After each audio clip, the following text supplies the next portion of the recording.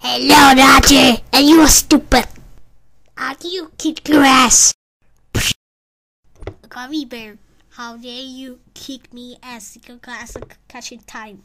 A, a, a, a great little wet box. I will eat you. No, um,